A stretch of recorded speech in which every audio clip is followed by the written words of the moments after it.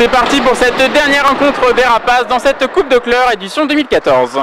Nicolas Parde, la rondelle est perdue. Les Polonais de Cracovie vont pouvoir se relancer. Ou attention, la relance ratée qui aurait pu être intéressante là pour les Rapaces. Allez, Cracovie en zone offensive, le tir bien bloqué par Aurélien Bertrand. Euh, la rondelle qui reste dans la zone, Nicolas Parde pour Bocian Golicic qui servait Radim Balchor. C'était bien joué, dommage. Kevin Dacosta encore une fois. La rondelle encore en offensive et c'est le but C'est 1-0 après 10 minutes de jeu. On va poursuivre le travail dans l'angle, à gauche.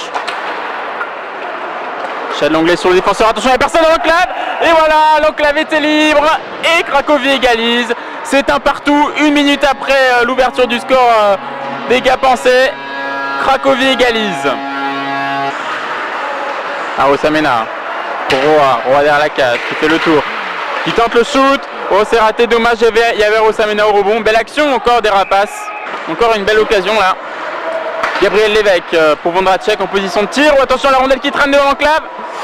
Ouh, le coup c'était serré. La rondelle qui n'a pas été gelée par le gardien. Et voilà ce but Matt Carter qui vient inscrire le second but dans ce match pour les Rapaces de Gap. Une rondelle qui n'a pas été gelée par le gardien. Gabriel Lévesque en profite pour la récupérer et servir Matt Carter dans l'enclave. Les Polonais toujours euh, en possession du puck qui tente de rentrer dans l'enclave. C'est bien dévié cette passe par Chad Langlais. Rika qui bloque, attention c'est devant l'enclave et voilà C'est l'égalisation Deux partout, deux buts encaissés par euh, la paire défensive Rika et Langlais. Le changement de ligne aussi un peu compliqué là pour les rapaces. En pleine action, où on était, à la limite du surnombre aussi. Faire attention. Hein. Et le but Surprenant Surprenant ce but euh, des Polonais. Gabriel Lévesque.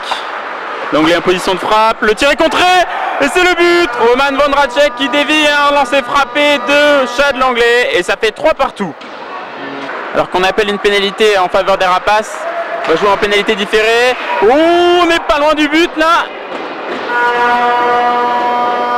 C'est le but. Visiblement la rondelle a, la rondelle a, passé la ligne. Et c'est le but pour les rapaces. En pénalité différée. Un 2 contre 2, un 3 contre 2. Attention, un 3 contre 2.